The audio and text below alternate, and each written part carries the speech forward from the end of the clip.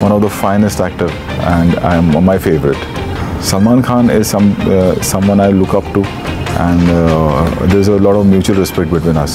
रोहित शेट्टी ने सलमान खान की आने वाली मूवी सिकंदर को लेकर शानदार स्टेटमेंट दे दिया रोहित शेट्टी कहते हैं कि सिकंदर मूवी का जब नाम सुनते हैं तो हमें एक ही चीज़ याद आती है और वो है एक्शन वो भी भाईजान के साथ। यानी कि इस बार भाईजान एक्शन की पहुंचार करने वाले हैं बॉक्स ऑफ़िस पर और रोहित शेट्टी कहते हैं कि सलमान खान एक्शन की दुनिया के बेताज बादशाह और जब सलमान खान बड़े पर्दे पर आते हैं तो एक अलग ही लेवल होता है। फैंस के दिलों में सलमान खान के लिए और रोहित शेट्टी कहते हैं कि सलमान खान की सिकंदर मूवी का हम बहुत ज़्यादा इंतज़ार कर रहे हैं। मगर सबसे चौंकाने वाली बात तो ये है कि हमें मूवी से पहले ट्रिलर का बहुत ज़्यादा इंतज़ार है। और रोहित जेठी कहते हैं कि इस बार सलमान खान ने एक बड़ा कदम उठा लिया है अपना और इंडियन सिनेमा का नाम रोशन करने के लिए। दोस्तों, क्या ये मूवी ब्लॉकबस्टर रह पाएगी या नहीं? कमेंट लाजमी करना, रोहित शेट्टी कहते हैं कि इस बार सलमान खान इंडियन सिनेमा को बड़ी ऊंचाइयों पर पहुँचा सकते हैं, क्योंकि पूरी फ़िल्म इंडस्ट्री हिल चुकी है जब से सिकंदर मूवी की अनाउंसमेंट हुई है। तब से, और रोहित शेट्टी कहते हैं कि जब बात खतरनाक स्टंट्स और दमदार पर्सनैलिटी की आती है तो हमें एक ही आदमी का नाम याद आता है,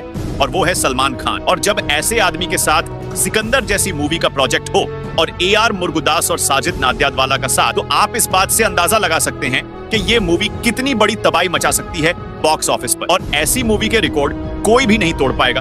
क्योंकि सलमान खान इस बार एक्शन के साथ भरपूर तादाद में उतर रहे हैं। सिकंदर मूवी के अंदर। और रोहित शेट्टी कहते हैं कि मुझे इस मूवी का बहुत ज़्यादा इंतज़ार है, क्योंकि ऐसी मूवी आ रही है जो बहुत सारे रिकॉर्ड्स को तोड़ के रख दे मगर रोहित शेट्टी ने इस बात का भी खुलासा किया है कि सलमान खान ने सिंगम अगेन मूवी के अंदर केम देने के लिए राज़ी हो चुके हैं। हाँ दोस्तों, रोहित शेट्टी ने कहा है कि इस बार दिवाली के मौके पर हमें बाजीराव सिंघम के साथ सलमान खान, यानी कि हमारे जुलबुल पांडे भैया भी दिखने वाले, जो दबंग में आते हैं। और इस बार सिंघम मूवी भी कुछ कम नहीं है, क्योंकि इस मूवी के ट्रेलर ने बड़ी तबाही मचाई है। दोस्तों, क्या आपने सिंघम अगेन मूवी का ट्रेलर देखा है? हाँ लाजमी देखा होगा।